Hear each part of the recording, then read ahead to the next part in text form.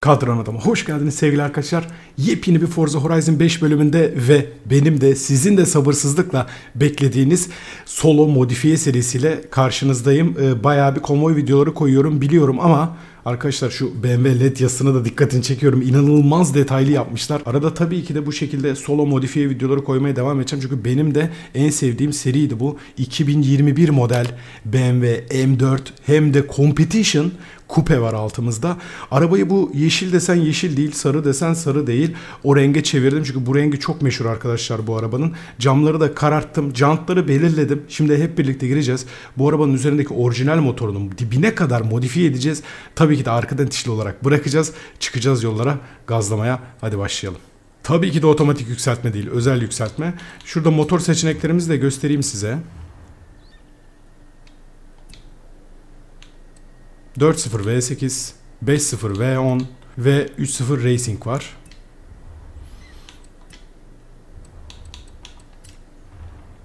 Ben hazırım. Araba şu anda 503 beygir, 650 Nm tork ve 1725 kilo ağırlığında. Tabii ki de kontrol ettim. Çok acayip güçlere ulaşacak. Ama bu sefer bir farklılık yapacağım arkadaşlar. Arabanın yere daha sağlam basması açısından bir de bir competition araç yapıyoruz sonuçta. Competition'lara ben bayılıyorum gerçekten. Burada bulunduğum yerde gerçi Almanya'nın neresinde olursak olalım inanılmaz fazla competition görüyorum arkadaşlar. Yani aklınıza gelebilecek competition serilerin hepsini görüyorum. Özellikle M8 çok çılgın. Bak konuşurken bunu yaptım mı onu bile unuttum. Ee, bayılıyorum yani. Çok acayip, çok özel arabalar gerçekten. Ee, biz de bunun hakkını verelim. Bu sefer kafes de yapacağım. Çünkü ekstrem bir güce ulaştıracağız arabayı. Bakar mısın abi? Bu zaten 202 beygir veriyor. Şu anda 918 beygir oldu.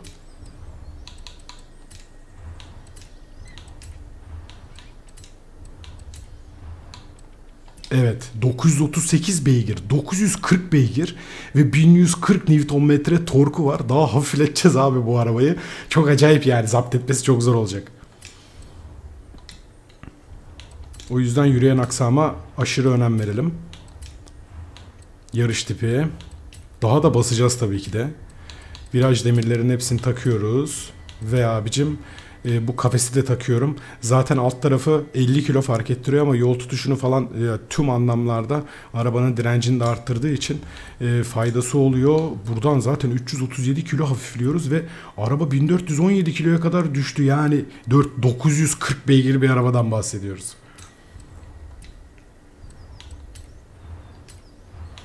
Bunların da hepsini yarış tipi yapıyorum. Buradan da hafiflemeler oluyor.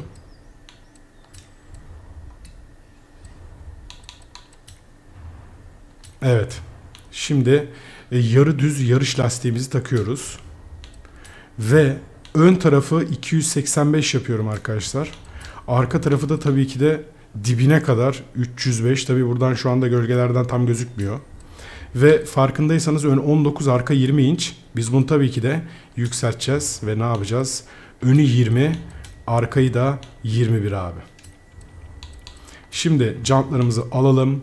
Jantları aldıktan sonra üzerine şu jantı alacağım arkadaşlar ve bu jantı da parlak siyah boyayacağım çünkü diğer e, piano black tarzı aynalarımız arabanın tepesi ufak tefek detaylar tamponlar maşpiyerler falan biraz uyum sağlasın.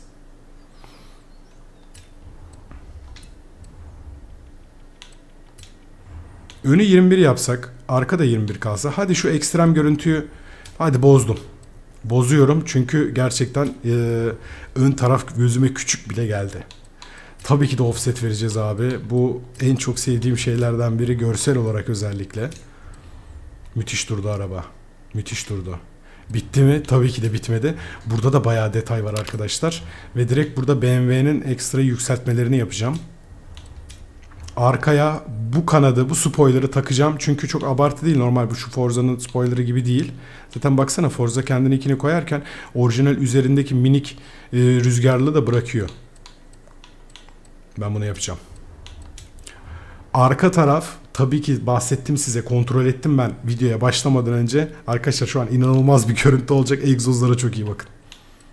Abi çok iyi oldu ya. Şuna baksana. Çılgın.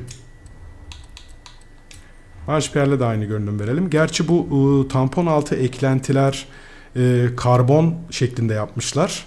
O tabii karbon biraz daha mat gözüküyor piyano bileğe göre. Aslında jantlara çok da dokunmak zorunda değiliz. Çünkü jantların görüntüsü e, piyano bilekle değil de alttaki karbon görünümlerle daha uyumlu kaldı. Bir girelim jant boyamaya bir bakalım parlak siyah nasıl gözüküyor ona göre karar verelim. Düzeni kur. 1725 kilodan 1427 kiloya tam 300 kilo hafifledi. 503 beygirden 938 beygire tam S1 900 yalnız tam görev arabası oldu. Tasarım boyalar. Araba başımıza neler açacak çok merak ediyorum.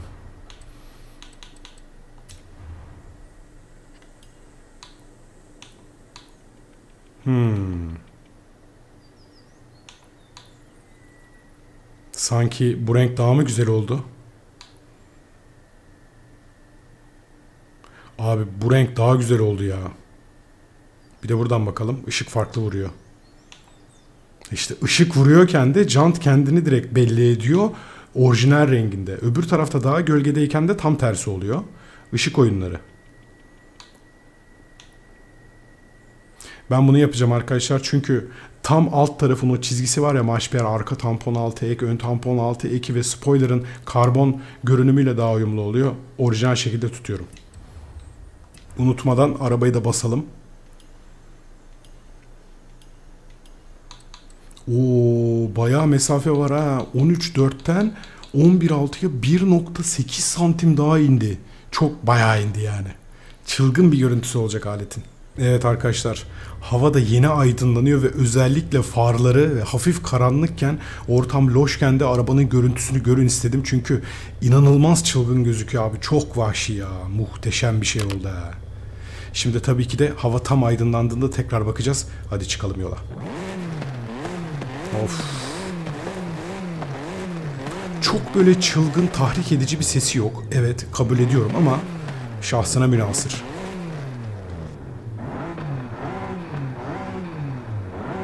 Şuraya bakar mısın ya? Hazırım.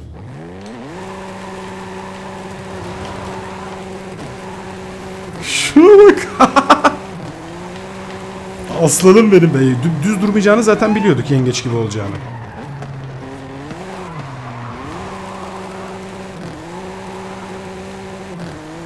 Mükemmel bir şeysin sen ya. Competition olsun, taşlan olsun. Bakalım son dişli ne yapacak bize? Dokunuş yapmamız gerekebilir. Tabii ki otobana da çıkacağız.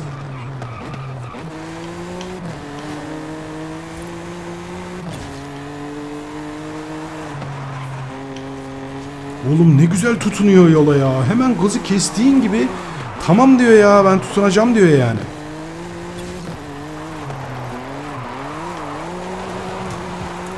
Çok tatlı bir alet arkadaşlar yani.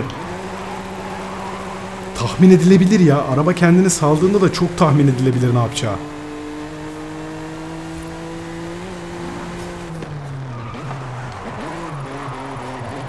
Ayarsızız mayarsızız. Otomatik vitesiz ama bir hafif hakkını verelim değil mi?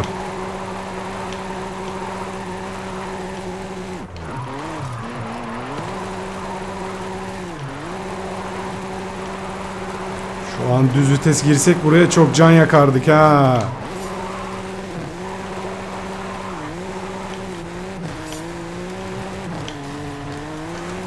Biliyorum az önce geçtik buradan biliyorum.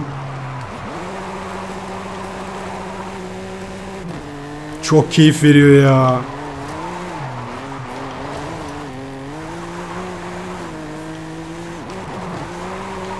Lan hayda.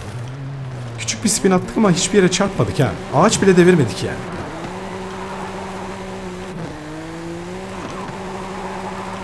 Canlı yayınlar da çok yakında başlıyor arkadaşlar. Bu arada bu videoyu göreceğiniz an itibariyle de e, fotoğraf yarışmasının son günü.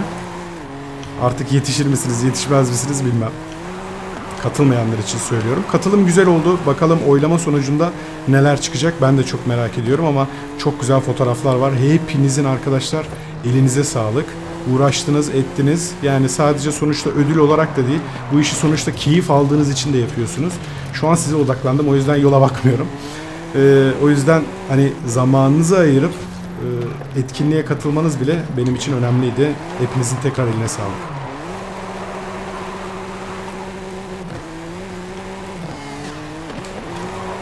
Modifiye serisi ha? Ben de özledim seni oğlum.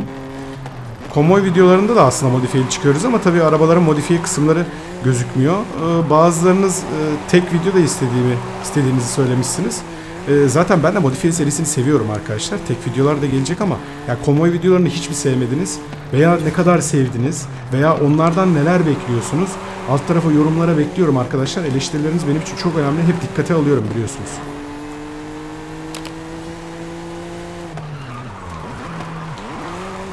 Oğlum şuna bak ya. Puslu bir hava. Psikopat gidiyoruz. Tam böyle patlamalık gidiyoruz.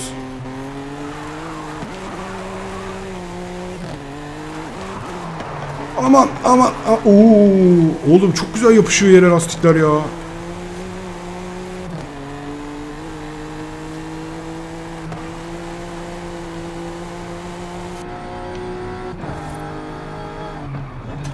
Abi şu grafik ayarlarını da full'e aldığın için görüntüler çok acayip oldu. Tabi sonuç olarak siz belli bir kalitede önce video kalitesini belli bir kaliteye düşürmem gerekiyor kaydını alırken. Üzerine bir de arkadaşlar size e, kurgu yaparken de çok küçük bir miktar daha düşürmek zorunda kalıyorum maalesef görüntü kalitesini. O yüzden tabii ki de siz benim şu anda an itibariyle gördüğüm görüntüyü göremiyorsunuz. Neyse dur yolu kestirmeyelim ya. Otobana geldik. Buradan başlayacağım. Şuna bakar mısın be? Uf, yanıyor yanıyor.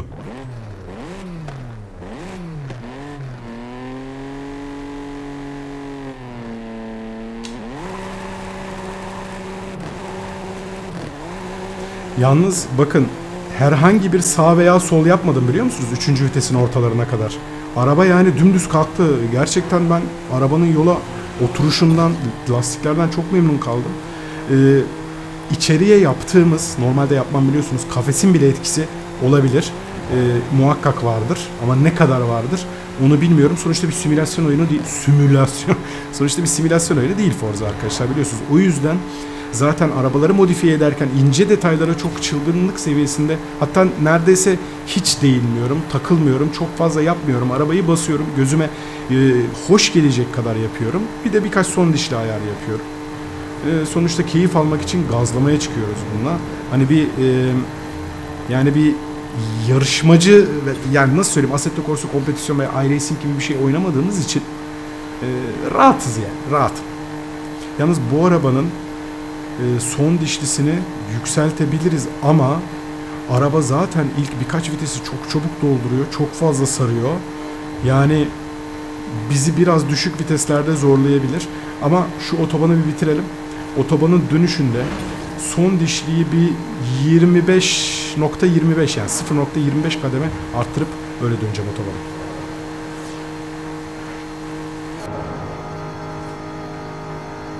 Harikasın ya.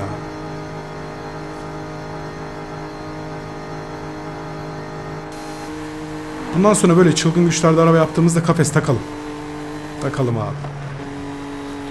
Yani içeriye girdiğimizde şu görüntü pek hoş olmayabiliyor ama hani sonuçta genelde özellikle modifiye serilerinde biliyorsunuz arkadaşlar yolda görmeye alışık olduğumuz veya hani alışığa yakın oldu da bu arabayı belki Türkiye yollarında çok göremezsiniz ama Burada gerçi çok görüyorum ben. Benim görmeye alışık olduğum araba ama hepimizin değil tabi. Ee, onları daha çok seviyorum. Tabi o arabaları daha çok cadde spek yaptığımız için sokak speklerinde orijinal motorlarını değiştirmeden tabi kafes yapmak biraz saçma oluyor. Ama bu şekilde böyle arabalar yapacağımız zaman bundan sonra o kafesi takalım e, yararı var. Yararı var. Zaten arabaları hafiflettiğimiz zaman çok inanılmaz hafifliyor arkadaşlar. 1300 kilolar falan bu 940 beygirler için inanılmaz düşük rakamlar. Çok düşük. 3 15 25 dedim 3 40. Son dişliyi 3 40 yapıyorum. Bence tam kıvamında olacak. Of be abi. Of be abi.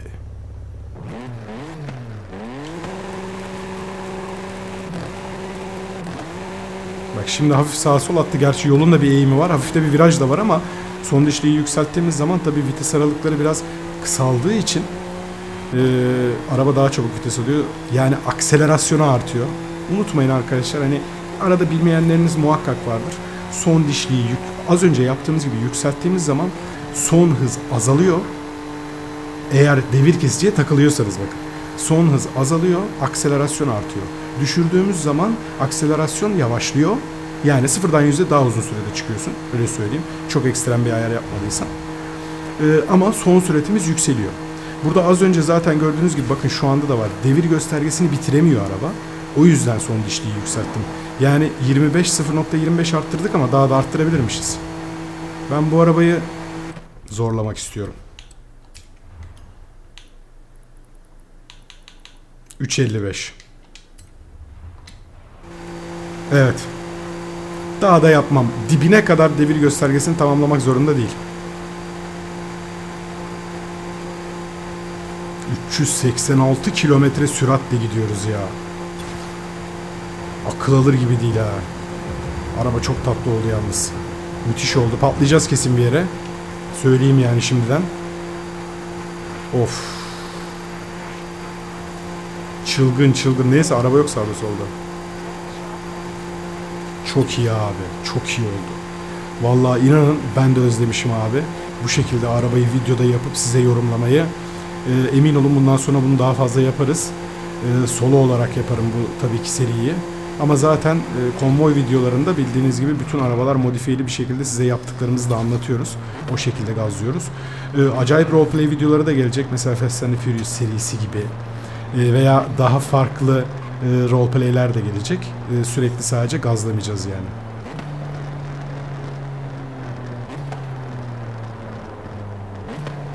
Of ne güzel düşürüyorsun vitesi ya. Aga yalnız burası da çok iyiymiş ha. Her yerden güzel ışık alıyor bak bak. Güzel oldu. Çok güzel oldu abi. Siyahın, sarının ve yeşilin uyumu diyeyim. Yani böyle mat sarı gibi. Daha doğrusu neon rengine biraz benziyor. Açık bir neon rengi gibi. Evet arkadaşlar abi egzozlar da çok tatlı duruyor be. Tabii ki de bu tarz videolar devam edecek yani bunu dememe gerek yok. E bunları kaçırmamak için alt taraftan kanala abone olup bildirimlerinizi açarsanız çok memnun olurum. Videoyu beğenirseniz de harika bir iş yapmış olursunuz. Bir sonraki bölümde görüşmek ümidiyle. Hoşçakalın.